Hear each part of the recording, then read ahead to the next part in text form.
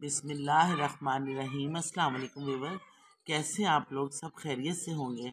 अल्लाह का करम होगा आप लोगों पे। अल्लाह पाक सबको अपनी अमान में रखे। आमीन, सुम आमीन। ये रेसिपी आज मैं साग बना रही हूँ। अपने साग की रेसिपी दे रही हूँ। ये मैंने सब कुछ अपनी अम्मी से सीखा है। अल्लाह उनके दर्जात बुलंद करे और जन्नत फिरदौस में उन्हें जगह अता करे। आमीन, सुम आमीन। अब मैं आपको बता रही हूँ किस चीज़ें कौन सी साग में इस्तेमाल होंगी। ये देखिए साग है, इतना सा तकरीबन। और साग की एक मैं आपको बताती हूँ, कुछ साग तो ये देखिए बारीक है बीच में। कुछ साग ऐसे मोटा होता है, जिसे हम अपनी ज़ुबान में गंदले कहते हैं, इसको ऐसे छील लेना है।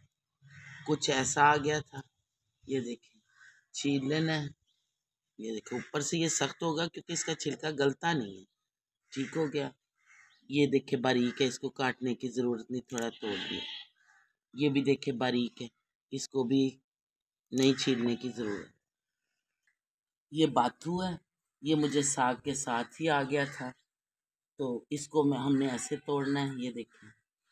इसको ऐसे तोड़ना ऐसे तोड़ना, ऐसे तोड़ तोड़ के रखी जाना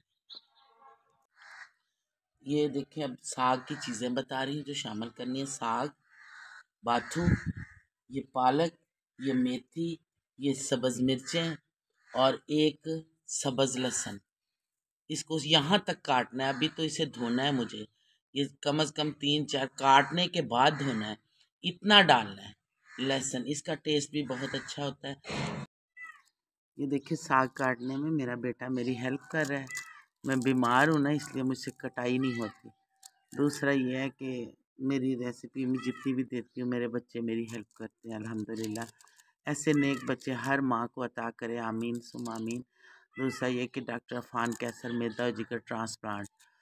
वो डॉक्टर तो हैं ही हैं मसीहा, लेकिन क्या बात है, आप मिले नहीं हैं। इतने नाइस इंसान हैं, बहुत इंसान, अच्छे हैं। और उन्होंने साग के बारे में भी आपने उनकी वीडियो देखी होगी कि इंसानी सेहत के लिए साग कितना अच्छा है। तमाम मर्ज़ के लिए ये साग अच्छा है और गजाइत से भरपूर है। तो अभी ये मेरा बेटा काट रहा है तो तैयारी करके इसे धो बना के मैं आपको दिखाऊँ। ये देखिए, मेरे बेटे ने मेरे साथ कटिंग कर दी, मेरी हेल्प की है। तकरीबन उसी ने काटा है। मैंने इसे आठ दस पानी में अच्छी तरह धो लिया। इसमें मैंने थोड़ा सा धनिया भी ऐड कर लिया था, थोड़ा सा। ये देखिए, सब्ज़ मिर्चें हैं। मुझे तीखी वाली नहीं मिली, वो मैंने कम डालनी थी। तो मैं, मुझे तकरीबन ये डेढ़ पाँव है। इसी में मैंने लहसुन दो इंच लंबा लहसुन था वो मैंने काट लिया। दूसरी बात ये कि बच्चों और मेरे व्यूवर्स, मेरी बहनों, आपको मेरी आवाज़ बड़ी अजीब सी लगती होगी, क्योंकि मैं गले के बीमारी में मुबतला हूँ। उम्मीद करती हूँ कि आप मेरा चैनल भी सब्सक्राइब कर देंगे, बेल आइकन भी प्रेस कर देंगे, कमेंट्स भी देंगे। देखिए, मैं बीमार होने के बावजूद आप लोगों के लिए रेसिपी बना रही हूँ। मेरी हौसला अफजाई करिएगा और मेरी आवाज़ को इग्नोर करते हुए, मेरे लिए आप दुआ भी ज़रूर करें कि अल्लाह पाक मुझे इस बीमारी से बचाए और मुझे सेहतमंद कर दे।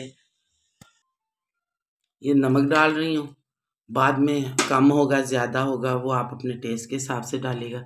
साथ ही मैं हरी मिर्चें और ये लहसुन डाल रही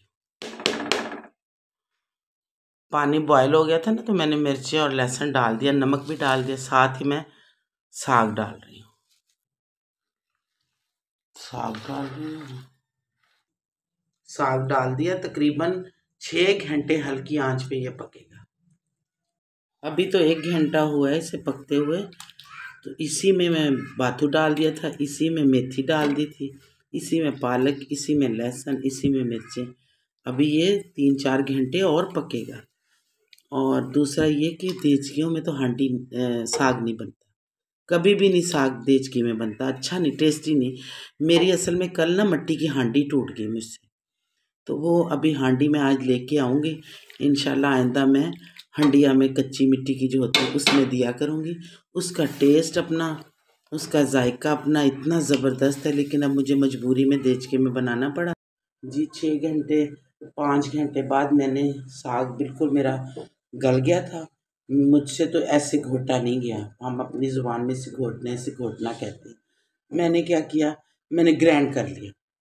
अब देखें ग्रैंड कर लिया, अब ये इतना आटा है, इतना। वो थोड़ा थोड़ा ऐसे करके ना, हम डालते जाएँगे और ये घोड़ते जाएँगे ऐसे। बस तकरीबन एक चाय की प्याली आटा डालना है, ये ऐसे घोटते जाएँगे। अब ये आधा घंटा तकरीबन हम इसे और पकाएँगे। इसके बाद मैं आपको डिश आउट करके दिखाती हूँ। जी व्यूवर ये साग बन गया। कितना आसान इसका तरीका था, मैंने ग्राइंड करवा दिया। घोटना भी नहीं पड़ा।